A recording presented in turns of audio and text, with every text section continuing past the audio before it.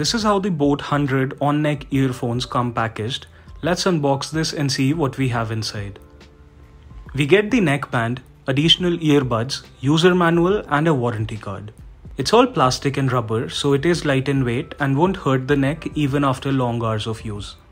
The earbuds are soft and stay fit in the ears. We get a hawk inspired design here just like some of the other products from Boat.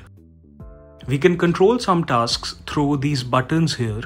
This product claims to offer a battery backup of up to 30 hours and is IPX4 resistant.